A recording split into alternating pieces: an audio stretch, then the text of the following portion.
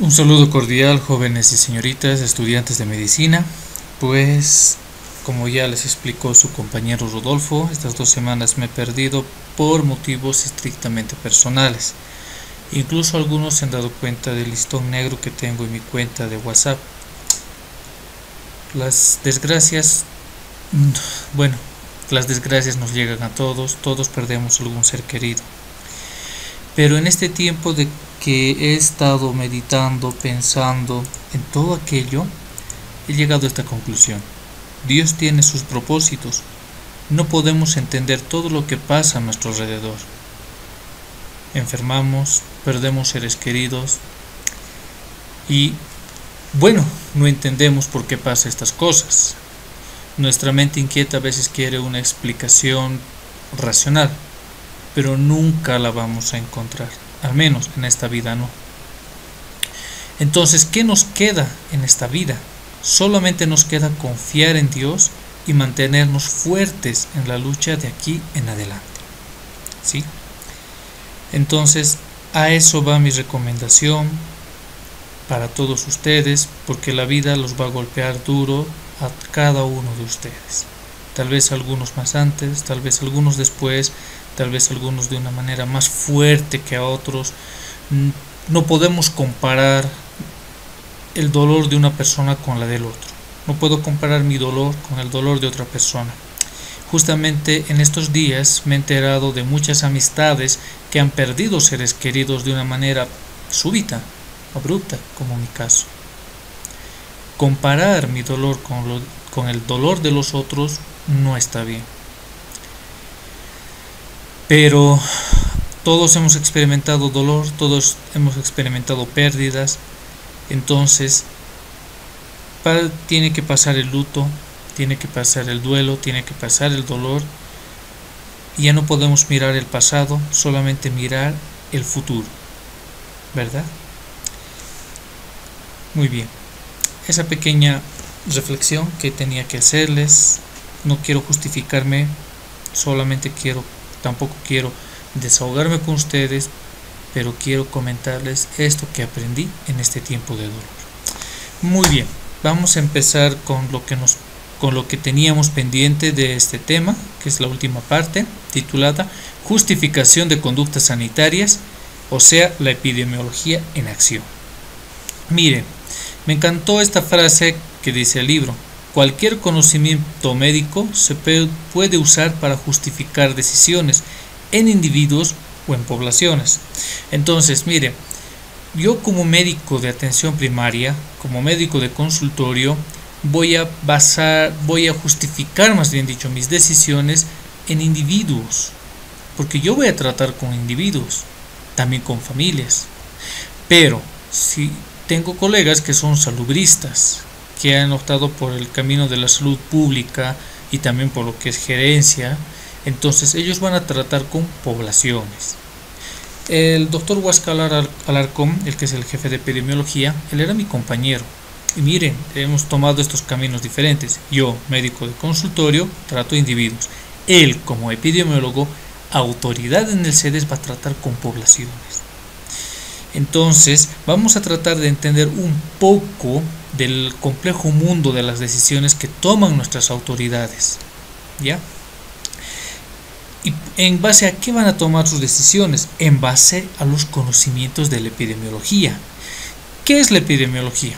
Es el estudio de la distribución de enfermedades y sus determinantes en poblaciones.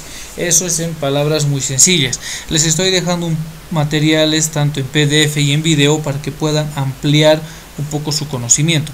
Como les dije, no es mi objetivo reemplazar a sus docentes que les están enseñando epidemiología, pero es mi deber tocar tal vez superficialmente la epidemiología, tal vez un poquito orientarlos, tal vez un poco simplemente eh,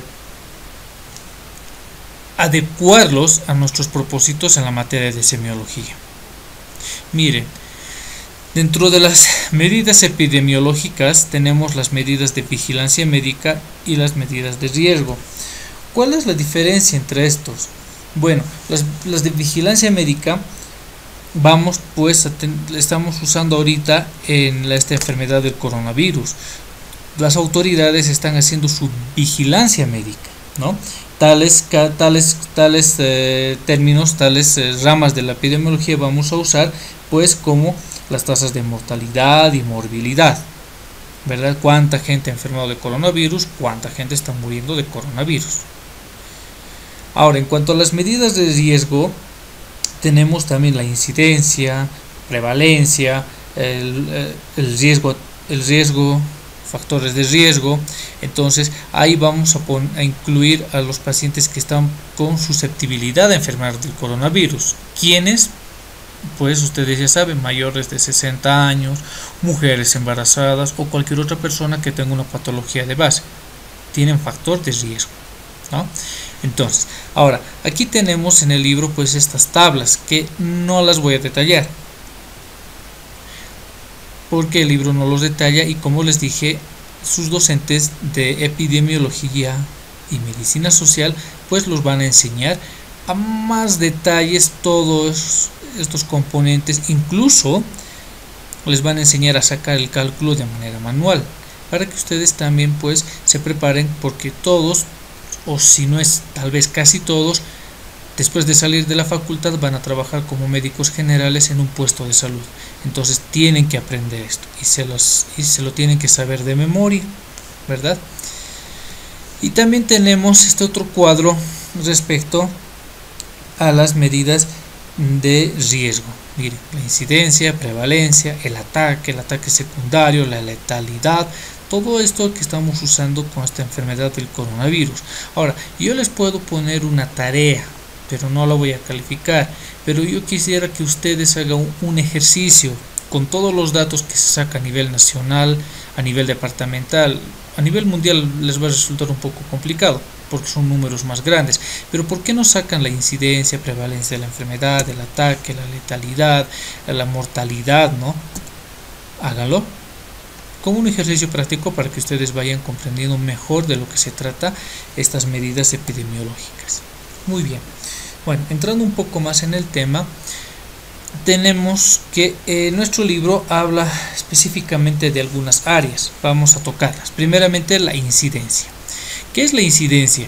Es una medida de uso corriente. Indica el número de casos nuevos de una enfermedad en un lapso determinado de la población total expuesta al riesgo. ¿Ah? No se olviden, casos nuevos. Sirve para medir la velocidad de propagación de una enfermedad en una población. Muy bien. Bueno, eh, aquí se nos pone algunos desafíos, ¿no? Que, eh, el libro para poder pensar. Miren, el el problema de, que ustedes están en, una, en, un, en, un, puesto de salud y que van a tener una población X, pero que eh, la cantidad de niños es 2000. ¿No? Y que bueno, ahora eh, también se ha hablado sobre los brotes de sarampión, vamos a agarrar ese ejemplo, ¿no? Y él nos, este libro, el libro nos indica, este autor, de que qué pasa si tú tienes 2000 niños, pero hay un brote de sarampión a los alrededores. Entonces, ese es tu problema. Ahora, ¿cuáles serían tus conductas posibles? Pues la conducta posible aquí nos indica pues poder conseguir el tratamiento, ¿no? Y tú tienes dos opciones. De un lugar cercano, digamos, La Paz, que te va a tardar 15 días porque ellos distribuyen a todo el país. O la otra opción, comprar de algún país de Asia, digamos China, pero te va a tardar 90 días y con todos los afanes de la aduana. Entonces, lo que tendríamos que hacer en esta situación, pues es valorar. Vas a comprar lo más barato, que te va a tardar mucho tiempo, o vas a comprar lo más caro, pero que te, va a traer, te vas a tenerlo casi en breve tiempo, comparado al otro, a los 90 días, ¿no? Entonces, en esta situación, pues, podemos hacer un análisis de decisión para el control de la incertidumbre. Miren, dice en este ejemplo, si tu incidencia es de 20 casos por día, si esperas y compras lo más barato en 90 días, ¿cuántos niños vas a tener contagiados en esos 90 días? 1800 niños. entonces te quedarían 200 niños que no tienen la enfermedad y que por lo tanto el tratamiento no va a ser eficaz y por lo tanto solamente vas a tener que gastar mil dólares tendrías que comprar solamente para esos 200 niños no pero qué tal si compras la opción si, si optas por la compra de, lugar más cercano que te va a tardar 15 días pero que te cuesta más en este caso pues solamente en 15 días tendrías pues unos 300 niños que habrían enfermado y 1700 niños susceptibles. Entonces tendrías que comprar el remedio para 1700 niños como que te sale más caro no comprarlo de más cerca porque al final de cuentas el, precio es mayor comparado el de, el de la fábrica de China que el distribuidor de local de nuestro país. Y vas a tener mayor cantidad de niños a los que vas a tener que aplicar. En este caso nos dice la vacuna no pero cuál sería la opción correcta comprar lo más caro o lo más barato obvio sé lo que estás pensando comprar algo caro pero que está cerca que lo vas a tener en breve ¿por qué? no solamente porque lo vas a tener en poco tiempo, sino también por las repercusiones que va a traer la enfermedad. Ustedes saben que muchas enfermedades dejan secuelas. Entonces, para evitar ese mayor número de secuelas, vas a tener que hacer una buena inversión. ¿no? Porque tratar las secuelas o las complicaciones de algunas enfermedades es mucho más costoso. Claro, el ejemplo de los pacientes que tenemos en diálisis, ¿no? Tenemos servicios de diálisis pequeños, que no son muchos en nuestros hospitales, ya sea Bracamonte o La Caja. Pero hay muchos pacientes que están viniendo por atrás necesitando este servicio, ya sea peritodiálisis o hemodiálisis, aunque lo más eh, lo que más se está tratando de resguardar es que, estos servicios de hemodiálisis pues no colapsen, ¿no? Entonces, ¿qué nos dicen a los médicos de atención primaria? Depende de ustedes de prevenir porque la prevención sale más barato que tratar las secuelas. No recuerdo ahorita los valores, pero imagínense, un paciente hipertenso, los sartán hay desde un boliviano hasta 5 bolivianos, pero imagínate que le das el un boliviano que compran los servicios de salud público. Un boliviano al mes, 30 bolivianos. Un, al año serían 365 bolivianos que gastas en ese paciente. ¿Y cuánto, se, y cuánto cuesta la hemodiálisis? Imagina, imagínate que la sesión te cuesta 250 bolivianos y tienes que hacer tres sesiones por semana, 750 bolivianos. Te sale más barato prevenir que lamentar. Vamos a lo siguiente, la prevalencia. ¿Qué es la prevalencia? La prevalencia es otra tasa de uso corriente, indica el número de personas con un atributo o una enfermedad en un lapso particular de la población total. Sirve para medir porcentajes de la población afectada por una enfermedad. Entonces, no se olviden, es el número de personas en un lapso particular, o sea, la cantidad de pacientes enfermos que tenemos en total, no casos nuevos, como es la definición de la incidencia. En esta prevalencia pues entran todos, nuevos y antiguos, pero igual en un lapso particular de una población total. ¿ah? Entonces, aquí también nos presenta algunos problemas. ¿no? Nos dice, ¿qué tal si tú trabajas en Uyuni, que más o menos son 20.000 habitantes? ¿no? Y tu hospital dice vamos a contratar enfermeras para tratar a los pacientes con diabetes, para asistirles más bien dicho a los pacientes con diabetes. Esta toma de decisiones las instituciones de salud lo llaman crecimiento vegetativo. De acuerdo al crecimiento vegetativo que tienes en tu población, tú vas a tomar la decisión de contratar nuevo personal, ya sea médico, enfermero, auxiliar de enfermería o técnicos. ¿no? Pero el ejemplo que nos trata el libro es sobre enfermeras. Dice, quieres tratar específicamente a los pacientes con diabetes. ¿ah? Y tu prevalencia de diabetes es el 10%. Bueno, en nuestra población oscila más o menos entre el 6% y el 8%. Pero aquí digamos el 10%. El del ejemplo nos da, ¿no? Entonces, según la bibliografía, en este ejemplo, según la bibliografía, dice que una enfermera es suficiente para tratar 500 pacientes. ¿Ah? Para que una enfermera abastece para tratar 500 pacientes, según este ejemplo. No es la realidad, pero según este ejemplo. Entonces, tienes 20.000 pacientes, ¿cuánto es el 10%? 2.000. Vas a tener 2.000 pacientes diabéticos, es lo más probable. Entonces, si una enfermera te abastece para 500 pacientes, ¿cuántas enfermeras necesitas contratar? Correcto, cuatro enfermeras, ¿no? Entonces, si contratas esta cantidad de enfermeras, pues tu presupuesto estará disponible y se verá menos afectado en comparación de que si contratas mayor cantidad de enfermeras. Ahí es el tema. Seguro que les va a pasar. Nos ha pasado a todos los que hemos trabajado en centros de salud en el área dispersa o quizás hemos estado en contacto con la parte gerencial de un hospital o de un centro de salud, que tienes que tomar decisiones en base a tu crecimiento vegetativo. Y esto no solamente lo tienes que hacer en base a los números, sino también a las referencias bibliográficas. ¿no? Por ejemplo, en mi caso, medicina familiar, según la literatura dice que un médico abastece para 3.000, un médico familiar abastece para 3.000 personas, para 3.000 pacientes. Entonces debería de haber un médico familiar por cada 3.000 pacientes, ¿no? Pero imagínense, en mi caso en el policlínico, a veces una zona o un consultorio médico abarca 3.000 pacientes, otros 5.000, otro 10.000 y otros 12.000 pacientes dependiendo de la zona. Hay zonas que son más, más pobladas que otras. ¿ah? Entonces aquí como que hay un, una desigualdad. Mi colega de al lado tiene una población de 3.000 pacientes, sin embargo yo tengo una población de 12.000 pacientes. Como que algo está un poco fallando en esta situación, ¿no? Entonces, en ese sentido, un ejemplo así vago, les digo que he visto en Brasil, en Río de Janeiro, que han dividido las zonas diferente a lo que lo hace el gobierno. Esta es la Secretaría de Salud.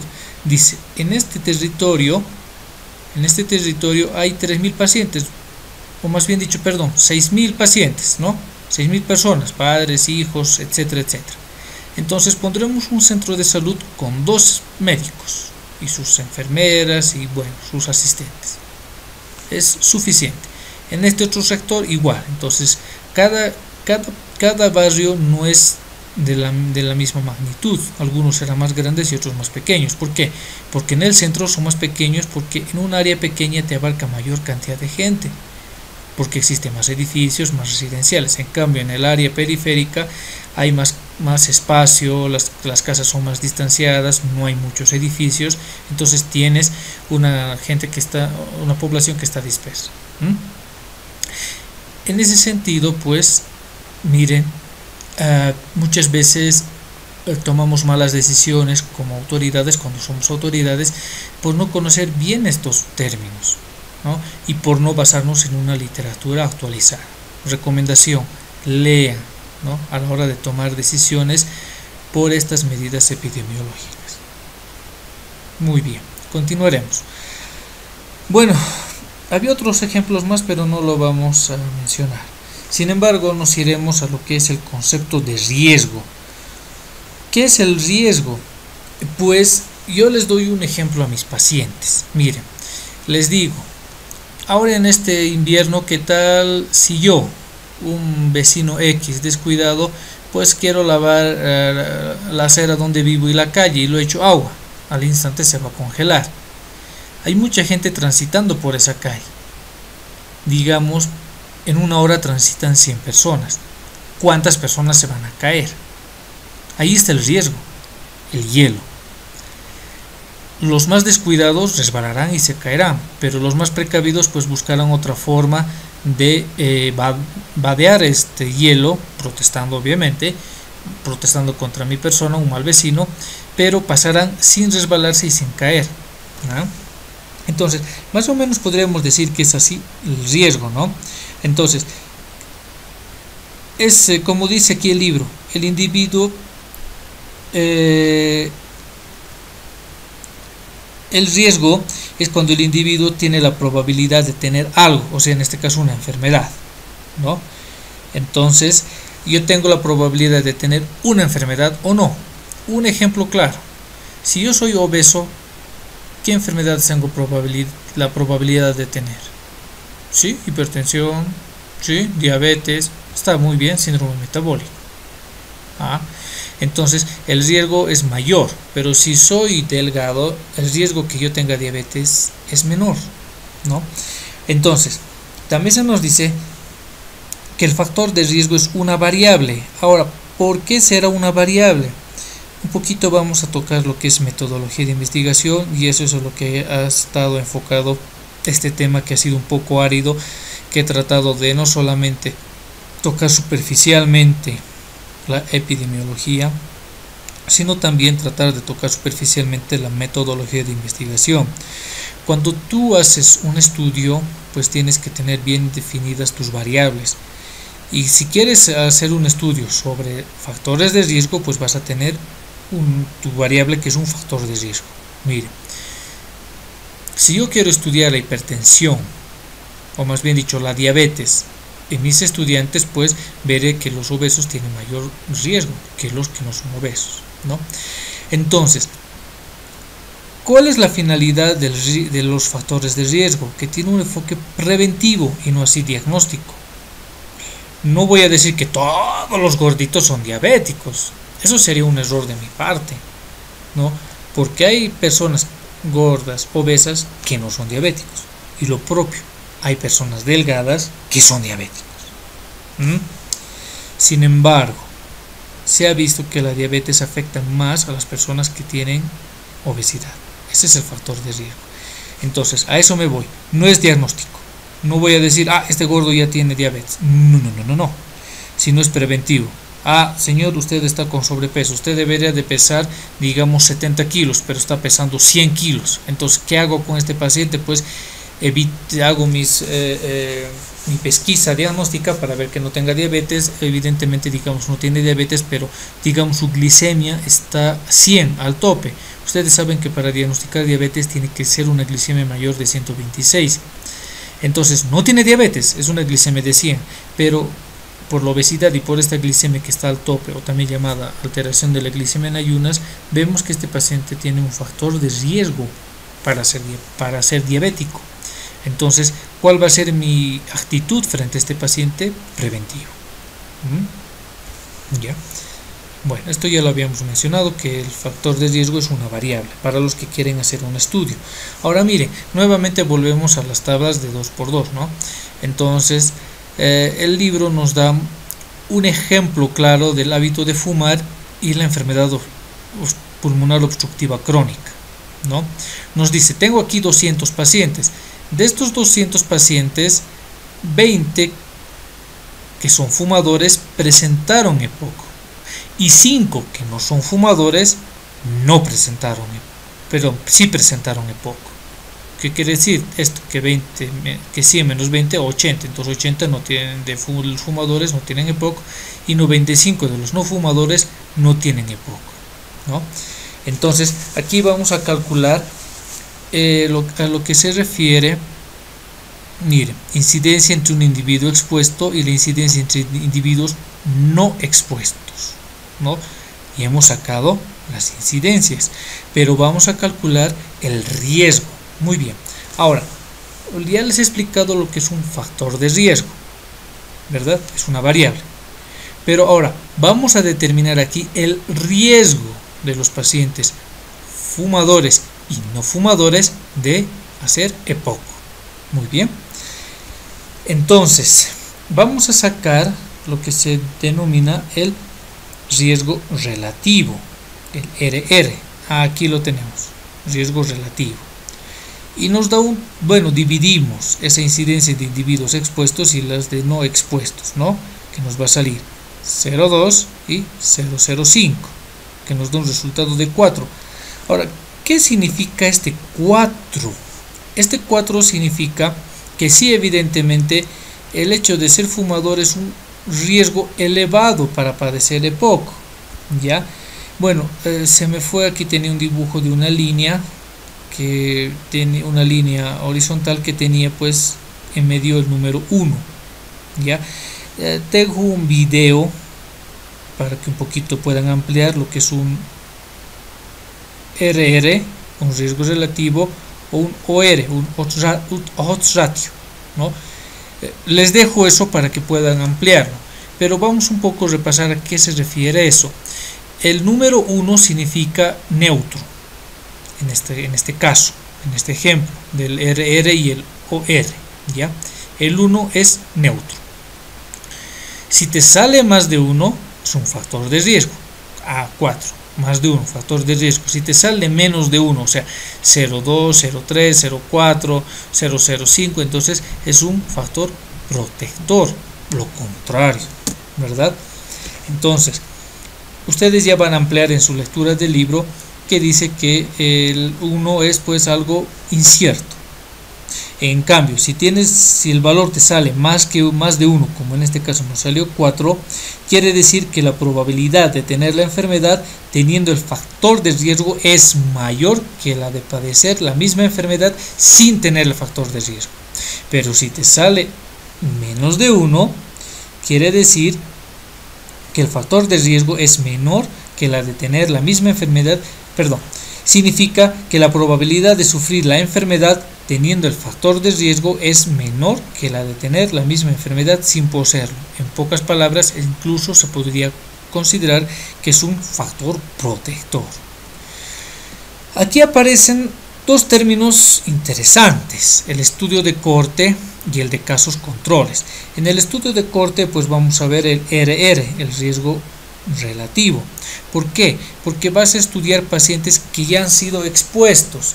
Tú llegas a una comunidad, no evito a trabajar y quieres estudiar esta situación de los fumadores y no fumadores y la presencia de EPOC, ¿no? Entonces vas viendo su historial clínico de tus pacientes, incluso haces tu revisión médica y recoges los datos. Cuando recoges los datos que ya están hechos, o sea, como una revisión de historias clínicas, es un trabajo retrospectivo, porque tú no has planificado los datos.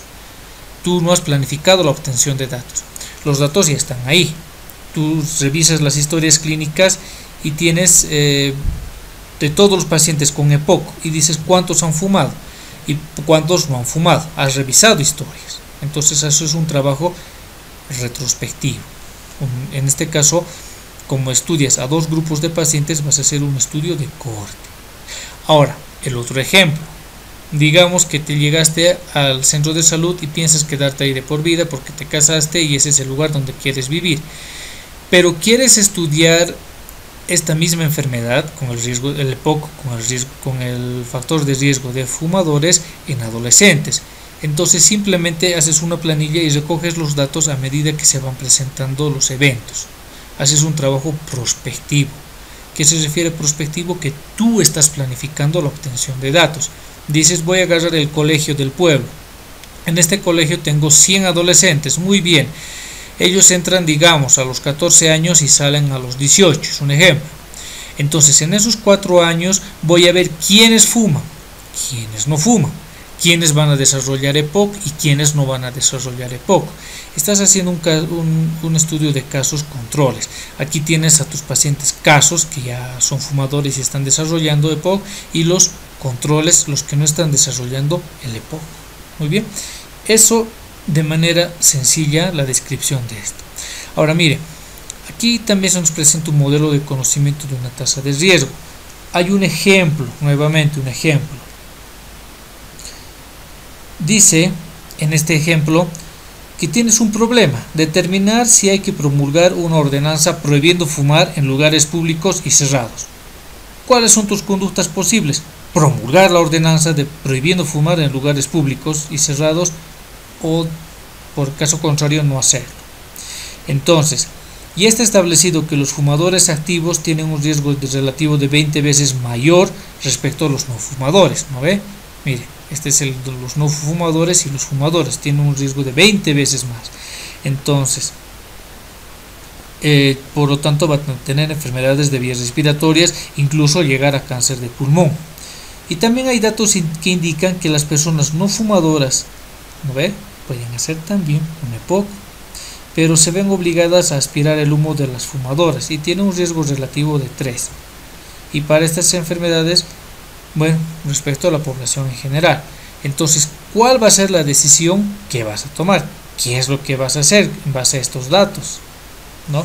Bueno, dices, voy a analizar la situación muy bien, analizas, reúnes a tu equipo médico, tus, eh, tus médicos y tus enfermeras que trabajan contigo en tu centro de salud y dices, si pruebo fumar en lugares públicos cerrados, al menos puedo disminuir las tasas de incidencia de ambas enfermedades entre los no fumadores y por lo tanto ocurrirá lo mismo en la población en general. Pero, por otro lado, si no se prohíbe fumar, la tasa de incidencia de ambas enfermedades no disminuirá y existe el riesgo de que se aumente. Entonces, ¿cuál va a ser la decisión? Pues prohibir que se fumen en lugares públicos y cerrados. Y eso es lo que en otros países hacen. Un, una área de fumadores. Muy bien. Para terminar, eh, el libro menciona el problema de la información correcta o la información incorrecta. Pues miren, a lo largo de mi corta experiencia, pues yo puedo basarme mi decisión, uno en base a mi experiencia, otro en base a la literatura, u otro en base a mi propia formación, mi propio criterio. ¿sí? ¿Qué dice el libro en cuanto a esto? La dura realidad es que no se puede hablar a la ligera de cuáles son los conocimientos correctos. Es posible que la única afirmación verdadera sea hay dudas acerca de lo cuáles afirmaciones son verdaderas. Eh, vaya que con seriedad, ¿no?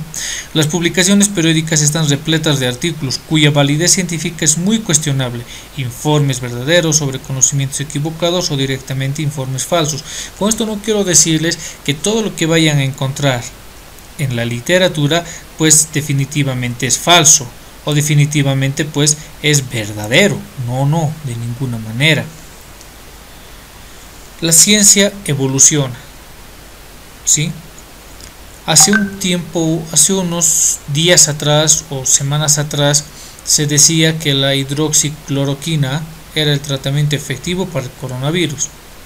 Ahora pues tenemos que Rusia y Estados Unidos están desarrollando sus propios antivirales. Luego se dice la ivermectina, pero se tiene casos de pacientes que se han tomado ivermectina diestra y siniestra y vienen con sus complicaciones. Acerca de esta enfermedad, pues recién se está conociendo, no lo conocemos por completo y se está investigando, se está averiguando, se está, ¿por qué no decirlo?, experimentando muchas opciones de tratamiento respecto a esta enfermedad que surgió, ¿no? Y lo propio pasa con muchas otras enfermedades.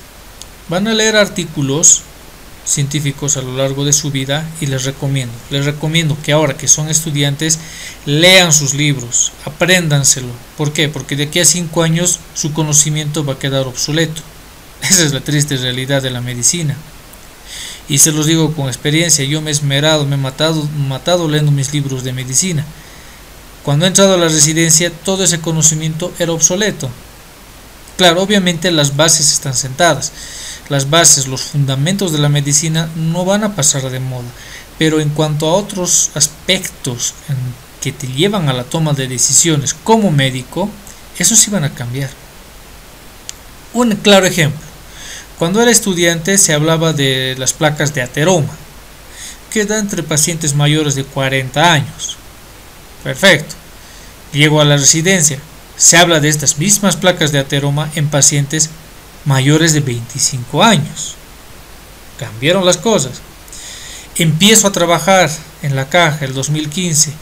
Leo artículos similares. Se habla de placas de ateromas en niños mayores de 10 años. ¿Qué pasó? Las cosas pues cambiaron. el entorno social ha cambiado, tanto ya sea en nuestra alimentación, en los hábitos higiénico-dietéticos, la cultura. Eh, las cosas han cambiado en estos 20 años.